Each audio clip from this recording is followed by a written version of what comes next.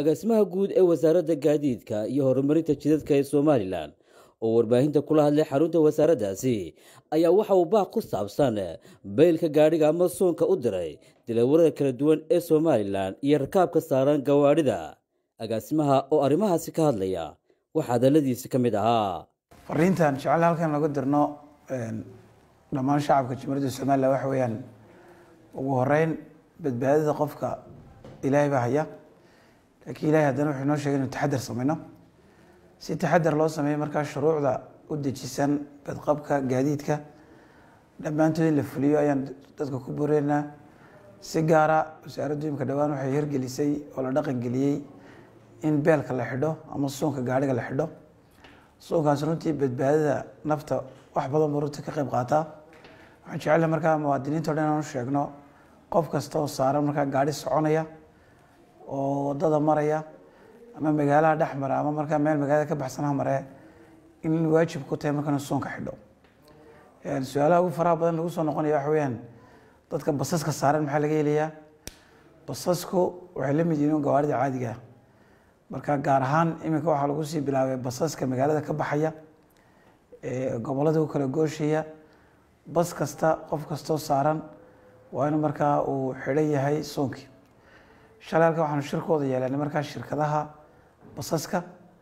Waxay noo sheegeen markaa basaska qaarkood inaanay lahayn suunkii aanay lahayn. Muddo toddobaada baan markaa u ogolaanay inay ku samaystaan. Basaska o dhan loo wada sameeyo suunka loo wada sameeyo.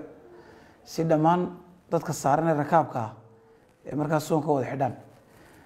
Baska hodhan markuu dhaqaaqo ciidamada nabadgelyada ama ciddii kale markaa u xil saaran ee ay gaadhiga jeegarayso haddii la arko markaa muwaadin rakaaba oo baska saaran ama qof aan muwaadin ahaynba oo dee gaadhi saaran oon suunkii xidhnayn ganaaxu iyo ciqaabtu waxay ku dhacaysaa qofka.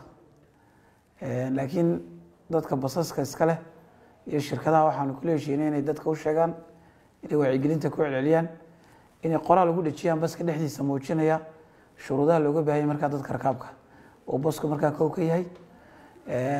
Iyo inaan sigaar iyo wax lamida markaa basaska lagu dhex cabi karin.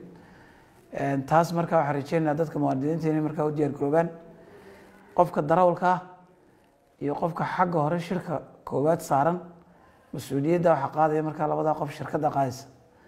Marka shirkadda basaska markaa ama qofka gaadhiga iskaleh gaadhiga wata iyo qofka u horreeya la fadhiya labadaa markaa shirkadda ama qofka gaadhiga le baa ka mas'uula dadka kale gaadhiga xagga dama saaran iyaga markaa iyaga qof si gaara loo ganaxaya. Haddii markaa qofkii gaadhiga kula saarnaa diido waxay xaq u leedahay marka inaad laamaha ammaanka aad ka wargeliso inuu qofkaasu naftiisa haligayo oanu suunka xidhanin marka waxaan runtii jecel lahay inaan ka codsano bulshada.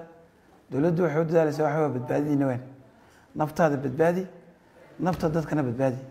Suunka xidhashadiisu adigay markaa dantaada tahay anaguna dowlad ahaan waxay mas'uuli naga saaran tahay in naftaada hadduu qofku isagu dayaco inaanu markaa lagu dabagalo oo lagu ciqaabo markaa haddii aanu naftiisa qofku badbaadinayn waxaana rajeynaya runtii arrinkana dhaqan geli doontaan dowladduna dabagal bay sameyn doontaa iyadoo markaa laamaha ammaanka iyo ciidamada nabadgelyada kaashanaysa. Intaasi kadib agaasimaha guud ee wasaaradda gaadiidka ayaa waxa uu ka hadlay arrinta liisamada bulshada waxaan u sheegaynaa mar kasta qofka horta gaari kaxaynaya waa inuu aqoonteeda leeyahy waa inuu liisan leeyahay. Markaad gaari kaxaysana dee xawaaro macquul ah oo ka sharcigu ogol yahay inaad ku socotaa loo baahan yahay. Iminka wadooyinkeena waad ogtiina waa la casriyey wadooyin badan qaar badanna way noo soo socdaan. Mushkiladda ugu badan nagu dhacda waxa weya wadooyinkii la hagaajiyey ee la casriyey bay shilalka ugu badan ka dhacayaan.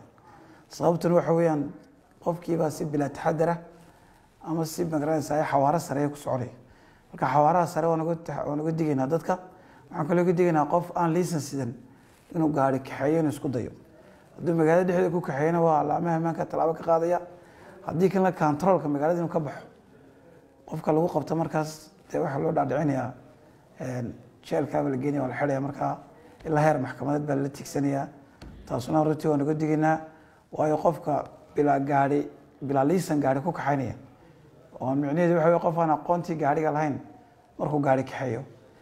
Iyo markuu qof kaloo ma garanaysaa siyaabo kale qofka wax ugu sameeyo ama uu dhibaato gaadhsiiyo dhaawaca ama u dilo labaduba waa isku dembi midna isagoon aqoon lahayn buu gaari kaxeeyo qof buu wax gaadhsiiyey midna dee gacan buu qaado qof buu wax gaadhsiiyey marka labaduba dee dembigooda waa isku wadaya marka taana laamaha ammaanka iyo shuruucduba runtii waxay ka qabaan baa lala tigsanaya cabdiqaadir maxamed xasan ariel t v. Hargeysa